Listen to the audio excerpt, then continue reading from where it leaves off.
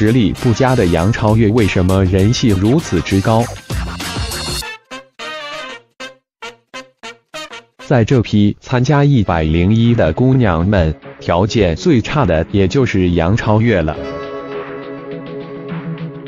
网友戏称其村花，所以杨超越也算是名副其实的全村人的希望了。但实力与唱功实在令人无力吐槽，隔着屏幕都能感动，慢慢的尴尬，简直是车祸现场了。作为一个选秀歌手，最要不的是他唱歌进不了调，跳舞还得打拍子。那为什么慢慢槽点的他却人气高居不下呢？根据分析，喜欢杨超越的大概还都是钢铁直男，毕竟杨超越小姐姐的颜还是很能打的。有时候和吴宣仪小姐姐站在一起都毫不逊色。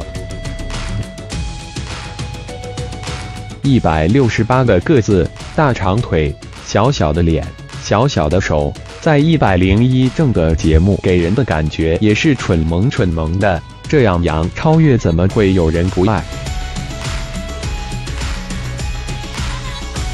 还有就是杨超越真的是很努力了。但是毕竟是农村出身，从小没怎么学过舞蹈才艺，所以自然和其他小姐姐差许多。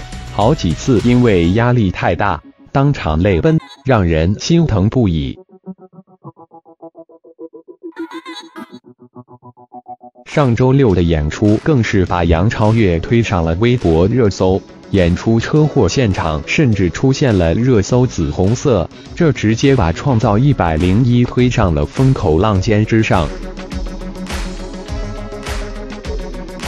两个半月的集训，本应具有精湛的表演，竟然出现了失误，简直令人难以置信。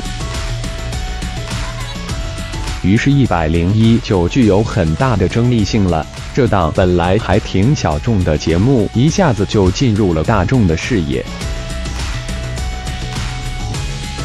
围绕着杨超越展开了一百零一的选拔方式是否公平的问题。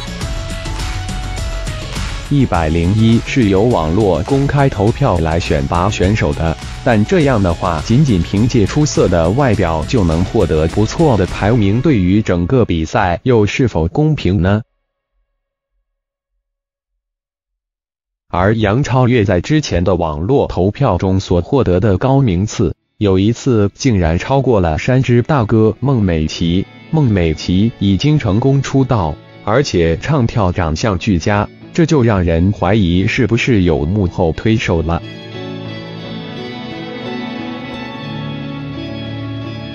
杨超越的粉丝解释道：“是超越自身的努力。”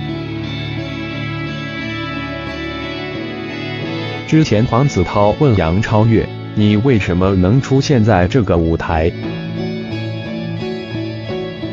这确实令人挺惊诧的。她之前是在 CH 二女子组合，这个组合是由八位素人女孩组成，组合成立也并没有对外宣传女孩们的学历。